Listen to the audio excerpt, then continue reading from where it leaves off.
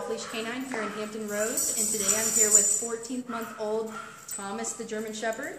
He's with us for the two week board and train just to kind of work on a few issues that he's having as far as obedience. Um, he knows come pretty much when he wants to do it. If he doesn't want to, then forget it. They're having a new baby in the house, so they kind of want to make sure that he's listening and not messing with the baby. But he's super sweet. I mean, he's just distracted. I mean, he he's doing his own thing and he's not really paying attention. So let me show you what he knows. Thomas.